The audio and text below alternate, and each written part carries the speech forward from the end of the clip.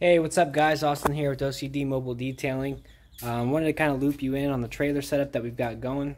I think I've pretty much got it set up for the most part right now um, and all the equipment so I wanted to kind of show you um, what it looks like.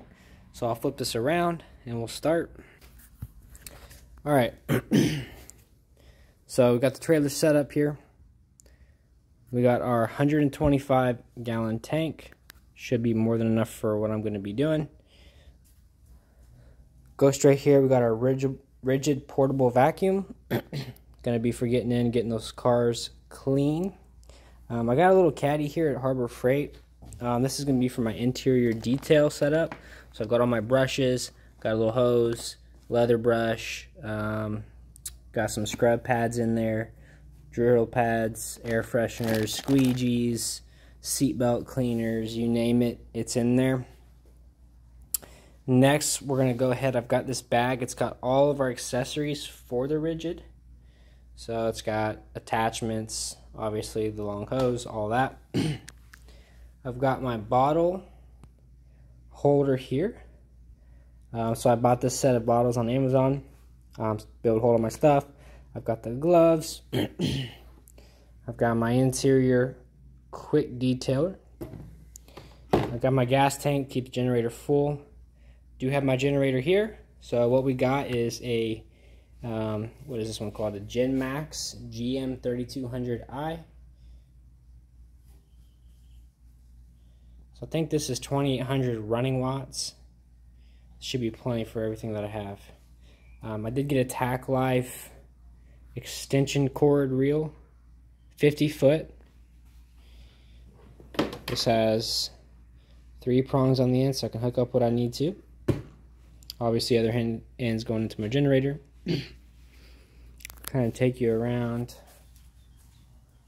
here. Showed you guys this in my last video, my pump setup. So we've got the pump. I'm going to add a splitter here so I can run it off the side and fill a bucket. Got the Bauer pressure washer. in here I've got actually my steamer, the McCulloch steamer. Um, this is going to be for getting in there and getting all of sticky stuff out, you know, stuff that's real tough to get out. I did buy a, a reel for a pressure washer. Um, this is by Power Horse. And I bought the Power Horse 50 foot here, um, bolted straight into the trailer. Um, this one's a manual reel.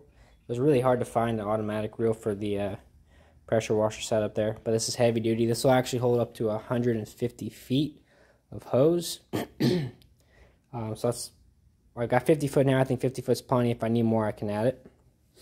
Um, I did get a Fortress air compressor. This is a 6 gallon, 175 psi. It's got two outlets I can use.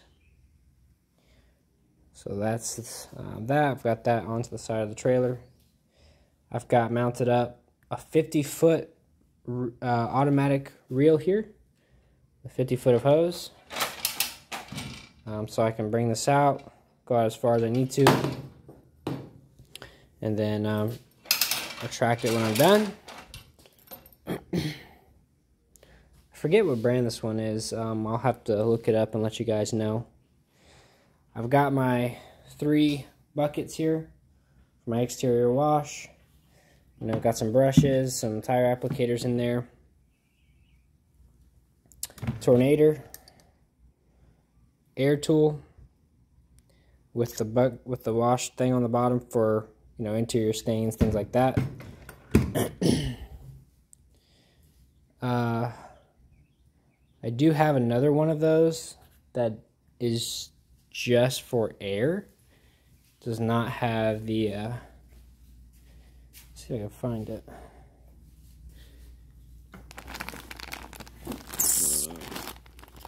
There it is.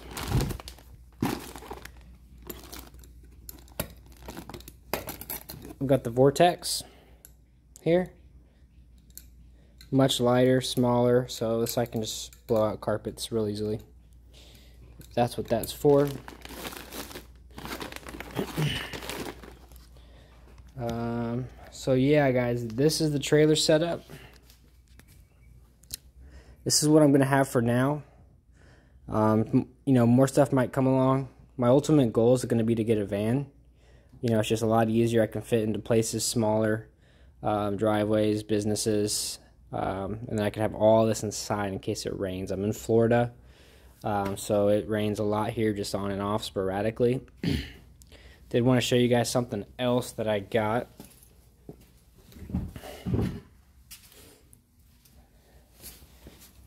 This is the Adams Polishes Air Cannon. Um, this thing's actually, I tested it out already. It's really strong. Um, but I'm going to be using spotless water so I can go ahead and air dry stuff off if I need to. You know, blow out cracks, crevices, headlights, tail lights, mirrors, stuff like that. So that's going to go on the trailer somewhere. I got to figure out. I think what I'm going to do is put, um, a, make a 2x4 like box for it so uh, it won't roll around. But anyways, I'll show you guys that. Extra, got my extra stuff here. Degreasers, shampoos, and some stuff inside too. Um, towels, mitts, um, got my floor protectors. So yeah, this is the trailer, and I'm actually off to hold my first um, detail today. So we'll catch up with you guys there.